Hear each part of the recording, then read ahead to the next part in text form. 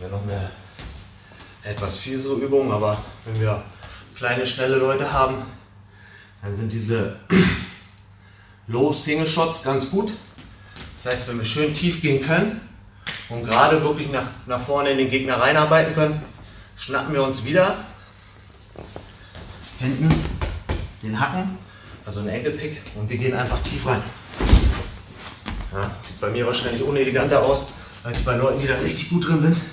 Gehen rein und ziehen wirklich tief und gehen sofort drauf. Und das muss halt ein konsequenter Zug am Hacken sein. Ich muss mit dem Oberkörper das Bein blockieren und das Ding richtig durchziehen. Und das klappt ganz gut, wenn ich wirklich mit Bums in ihn reinschute. Ich bin hier.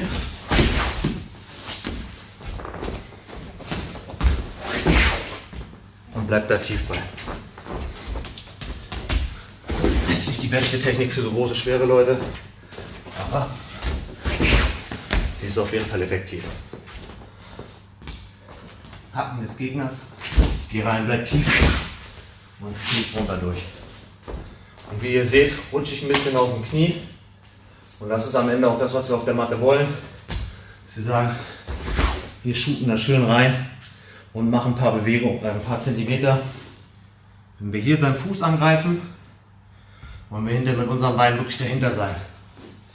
Die Kombination daraus, dass wir in ihn reinbewegen und sein Bein nach hinten durchziehen, nimmt ihn eigentlich den Standard.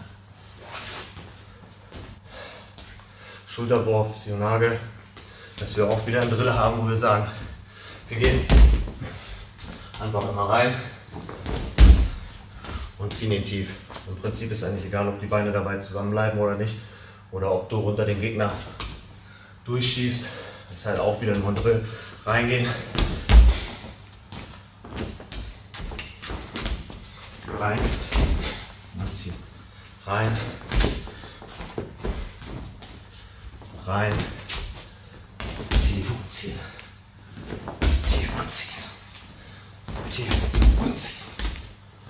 Und wenn ihr den ausweiten wollt, dann schießt ihr halt einfach direkt durch, schmeißt euch in die Knielage und zieht halt dann, dass ihr sagt,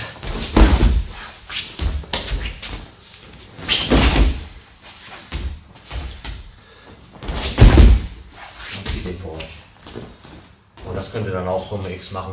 Dann haben wir noch einmal für den Boden, wenn wir da schon sind, dass wir sagen, wir wurden von außen umklammert, sind selber in einer, im Vierfüßlerstand, Turtle Position, wie auch immer, und wollen da wieder raus. Dann ist halt die klassische Art zu lösen, ein Sit-Out. Das heißt, ein Arm geht hoch, eins bleibt unten. Das hintere Bein schießt, also das Bein, wo der Arm unten ist, schießt durch. Und dann haben wir so eine Bewegung. Und gehen quasi aus der Umklammerung, die hier ist, raus und sind seitlicher vom Gegner. Und das können wir halt auch die ganze Zeit so machen. Wir können auch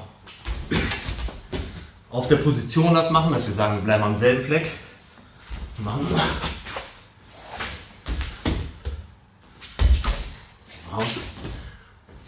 Es abwandeln, dass wir sagen, wir machen es von, vom Unterarmstütz. Wir sagen, wir bleiben dann auch im Unterarmstütz. Schießen schön tief durch. Schön kompakt. Vielleicht auch abgekniet. Kurz hoch. Wir brauchen nicht viel Platz. Und dann durch. Hoch. Und dann durch. Dann wieder da. In Anlehnung dazu, dass wir auf der Stelle sind. Gegner hat uns wieder umklammert. Wir sagen, wir gehen hier mit den Unterarm in ihn rein. Wenn er uns so umklammert hat, dass wir unten reingehen, seinen anderen Arm festhalten und uns dann einfach über die Schulter in ihn reinrollen. Und der Drill dazu wäre halt Dasselbe wie der Sit-Out, bloß dass wir auf der Stelle uns einfach drehen und sagen, wir versuchen ihn hier, dass wir jetzt auf seiner Schulter und seinem Arm drauf liegen. Vielleicht ein bisschen abstrakt vorzustellen, aber die Übung ist gut. Und geht halt für beide Seiten. Auch lange Beine. Wir rollen uns wieder zurück. Weil wir Druck reinhaben wollen in den Gegner, in diese Schulter. Hüfte hoch, Druck rein. Und das ist dann die Übung. Krabbeln dann von da aus immer wieder zurück. Runter.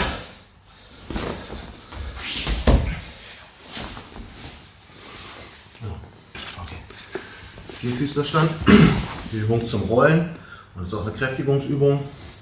Wir gehen immer durch. Mit einer Seite bei uns zum Hacken. Rollen gerade einmal nach vorne. Und dann gehen wir so schnell wie möglich wieder zurück. Und wechseln die Seite. Und das ist halt durchgehend.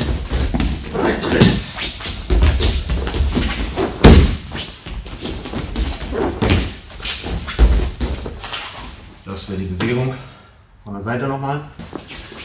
Wir gehen durch, greifen unseren Hacken und zurück. Und zurück. Und schief werden. Grunde wäre das noch. Wenn man das 30 Sekunden macht, dann hat man eigentlich auch gut Wasser auf dem Rücken.